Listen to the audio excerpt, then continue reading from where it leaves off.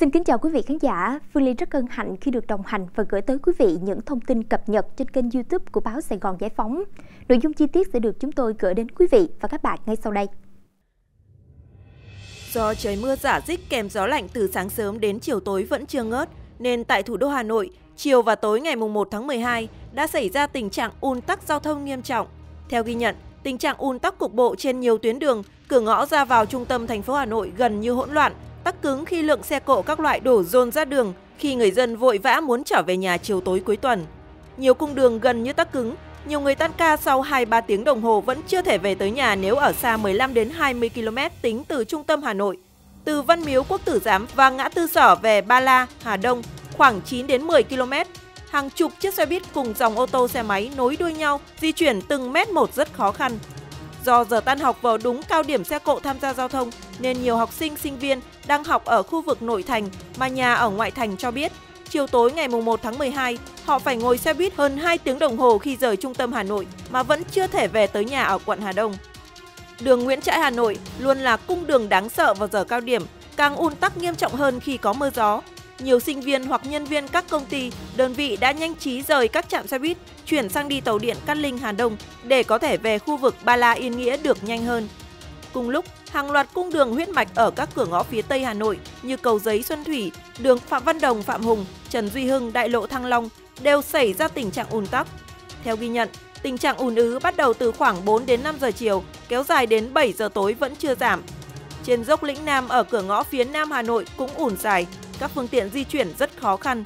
Dọc tuyến đường Trường Trinh về ngã tư sở, hầu như các phương tiện bất động, vài phút mới nhích được một chút. Cả đường trên cao lẫn đường bên dưới ở chiều ngược lại, vành đai 2 từ ngã tư sở đi cầu Vĩnh Tuy cũng bị tắc cứng. Nhiều chủ xe thông tin hơn 30 phút dậm bánh tại chỗ mà không di chuyển thêm mét nào. Tình trạng ùn tắc còn xảy ra trên các tuyến quốc lộ ở ngoại thành Hà Nội.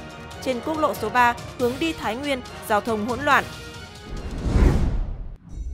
Thông tin từ các chuyên gia khí tượng thủy văn cho biết, vùng áp thấp hình thành trên rãnh thấp ở khu vực Tây Nam của Nam Biển Đông đang có dấu hiệu suy yếu hoặc khó phát triển thành áp thấp nhiệt đới.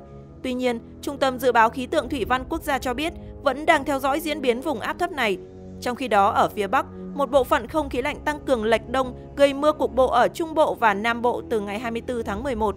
Cơ quan khí tượng cho biết dấu hiệu chiều cường ở Nam Bộ đang quay trở lại. Vùng biển ven bờ Đông Nam Bộ đã có sóng cao 1 đến 2 mét, gió Đông Bắc mạnh cấp 4 5. Tính đến ngày 1 tháng 12, sóng biển có xu hướng cao trên hầu khắp các vùng biển. Dự báo gió Đông Bắc có thể đạt tới cấp 6, sóng biển cao tới 2 đến 3 mét. Trong 1 đến 2 ngày tới, mực nước biển cao nhất tại trạm Vũng Tàu có thể lên mức 4,15 đến 4,2 mét. Chiều cường kết hợp sóng lớn và nước dâng do gió đông bắc mạnh có thể gây sạt lở tại ven biển và gây ngập úng ở vùng trũng thấp, ven bờ các tỉnh miền Đông Nam Bộ. Ngày 1 tháng 12, không khí lạnh tràn về Hà Nội và miền Bắc, gây đợt mưa trên diện rộng, kéo dài cả ngày không ngớt, nền nhiệt giảm mạnh. Các trạm đo tại Hà Nội ghi nhận nhiệt độ phổ biến ban ngày là 18 đến 19 độ C, còn tại các tỉnh Lạng Sơn, Cao Bằng, Bắc Cạn chỉ có 14 đến 15 độ C, trời mưa rét. Đến chiều ngày 1 tháng 12, sóng không khí lạnh đã lan tỏa xuống dưới Bắc Trung Bộ và Trung Trung Bộ. Trên vịnh Bắc Bộ có gió Đông Bắc mạnh cấp 6. Dự báo ngày 2 tháng 12, mưa gió ở miền Bắc sẽ giảm nhưng trời vẫn rét. Nền nhiệt độ phổ biến là từ 15 đến 18 độ C, vùng núi cao có thể xuống dưới 11 độ C. Do ảnh hưởng không khí lạnh, từ Nghệ An đến Quảng Ngãi đã có mưa to trên 140 mm tính đến chiều ngày 1 tháng 12, như ở chợ Tràng, Nghệ An 142 mm, ở Giò Điệm, Hà Tĩnh là 293 mm, Lệ Thủy, Quảng Bình 163 mm, Tà Long, Quảng Trị 157 mm, đập thủy điện Rào Trăng 4 Thừa Thiên Huế 149 mm.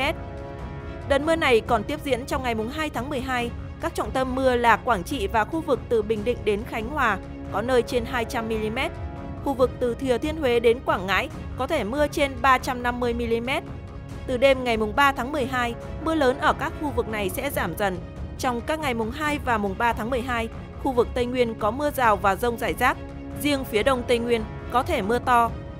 Nam Bộ chiều tối và tối có mưa rào và rông rải rác. Thời gian gần đây, nhiều hộ dân sống ở khu vực 4 phường Nhân Bình, tỉnh Bình Định bức xúc phản ánh đến cơ quan chức năng và báo chí Nhiều tháng qua, đời sống của họ bị đảo lộn do khúc sông Hạ Du bị bùn thải bủa vây, nhấn chìm gây tắc nghẽn, ô nhiễm cả vùng cửa sông rộng. Ông Lê Quang Tân, 70 tuổi ở khu vực 4 kể, từ khoảng tháng 2 năm 2013, khi công ty cổ phần cảng Quy Nhơn đặt ống hút bùn nạo vét ở cảng lên phục vụ san nền dự án khu đô thị thì xảy ra tình trạng ô nhiễm. Nhà ông Tân có ao nuôi tôm cá, nhưng nhiều tháng qua, bùn thải ùa vào nhấn chìm hồ khiến cho cá tôm chết, thiệt hại nặng nề. Họ nạo vét bùn từ cửa cảng Quy Nhơn về rồi bơm lọc lấy cát thực hiện dự án, còn bùn thải ra ảnh hưởng đến đời sống người dân. Khối lượng bùn tích tụ ngày càng lớn, tràn khắp nơi nghẽn cả dòng sông kèm theo mùi hôi thối rất khó chịu. Ông Tân phản ánh. Tình cảnh hộ bà Nguyễn Thị Loan, 51 tuổi ở tổ 28 khu vực 4 Nhân Bình, khốn đốn hơn do đêm nào cũng phải chạy ngập lụt. Từ khi hút cát thải bùn ra tràn đầy cửa sông thì dòng chảy bị nghẽn, bùn ở đáy sông chất cao gây ra tình trạng ngập lụt. Tối nào nước chiều lên thì nhà tôi cũng bị ngập, đồ đạc ướt hư hại, cứ phải di rời chạy ngập miết, khổ lắm. Bà Loan nói. Nhiều người dân khác phản ánh, việc cửa sông bị bùn thải vùi lấp khiến dòng chảy ách tắc, ghe đò không vào lạch tránh trú mưa gió được. Nhiều người lo lắng vì bùn tích tụ lâu tạo ra các bẫy rất nguy hiểm. Cụ bà Trần Thị Quế, 83 tuổi, có nhà bên bãi bùn thải, lo ngại. Bùn chất lún sâu lắm. Hôm trước có người đi đánh cá không may xa vào bùn bị lún sâu xuống, may thoát kịp. Bùn thải nhiều gây ô nhiễm khiến tôm cá bỏ đi hết, nên giờ quanh sông này chẳng còn gì để dân mưu sinh. Trước đó, ngày 27 tháng 11, Tri Cục Thủy lợi tỉnh Bình Định đã có văn bản về vụ việc bùn thải bồi lắng trên. Theo đó, khu vực bùn thải bồi lắng thuộc dòng dẫn hạ lưu tràn Quy Nhơn và Cống Đông Định thuộc Đê Đông, phường Nhân Bình, tràn và cống có nhiệm vụ giữ mặn giữ ngọt, phục vụ sản xuất nông nghiệp và thoát lũ, bảo vệ dân cư trong mùa mưa bão. Trưa ngày 1 tháng 12, trao đổi với phóng viên báo Sài Gòn Giải phóng về thực trạng trên, bà Hà Thị Thanh Hương, Phó Giám đốc Sở Tài nguyên Môi trường tỉnh Bình Định cho biết, sau khi người dân và dư luận phản ánh, thì đơn vị đã thành lập đoàn công tác để kiểm tra hiện trường và xác định những phản ánh của người dân là chính đáng, chính xác.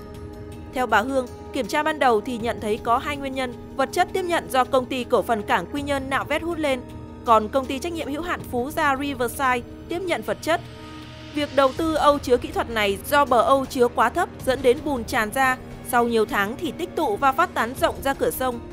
Hoạt động nạo vét tiếp nhận bùn và vật chất trên phục vụ cho hai dự án gồm đầu tư xây dựng nâng cấp bến số 1 cảng Quy Nhơn thuộc công ty cổ phần cảng Quy Nhơn đầu tư và dự án công ty đô thị mới khu vực chợ góc do công ty trách nhiệm hữu hạn Phú Gia Riverside thực hiện. Khi trao đổi và làm việc với báo chí, phía công ty trách nhiệm hữu hạn Phú Gia Riverside cho rằng không có chuyện bùn thải từ phạm vi dự án của đơn vị này chảy ra ngoài. Việc gây ra tình trạng bùn phát tán do phía công ty cổ phần cảng Quy Nhơn đóng cọc bê tông tại ngã ba sông để bao lưới cho xà lan chở vật chất nạo vét quay đầu, đổ vào âu chứa tạm để bơm dự án. Trong khi đó, đại diện công ty cổ phần cảng Quy Nhơn cho biết những hộ dân bị ảnh hưởng bởi bùn phát tán nằm trong phạm vi dự án của công ty trách nhiệm hữu hạn Phú Gia Riverside. Quá trình thi công sẽ không tránh khỏi tình trạng bùn phát tán ra ngoài, cảng là đơn vị bơm, công ty trách nhiệm hữu hạn Phú Gia Riverside là đơn vị tiếp nhận, nên hai bên cũng có liên quan trách nhiệm để cùng khắc phục. Đại diện công ty cảng cho biết. Bà Hà Thị Thanh Hương cho biết thêm, việc xác định lỗi thuộc về ai chờ đơn vị có báo cáo lên Ủy ban Nhân dân tỉnh sẽ có kết luận cụ thể vụ việc. Cơ quan thanh tra cùng các đơn vị liên ngành địa phương sẽ có đoàn kiểm tra vào cuộc xác định cụ thể lỗi thuộc về đơn vị nào, mức độ xử lý và cả bồi thường cho người dân. Những thông tin vừa rồi cũng đã khép lại chương trình của chúng tôi. Phương Ly rất mong nhận được sự quan tâm và đồng hành của quý vị khán giả dành cho các chương trình trên kênh YouTube của báo Sài Gòn Giải phóng. Đừng quên nhấn chuông theo dõi chúng tôi để không bỏ lỡ bất kỳ thông tin cập nhật nào. Xin kính chào và hẹn gặp lại.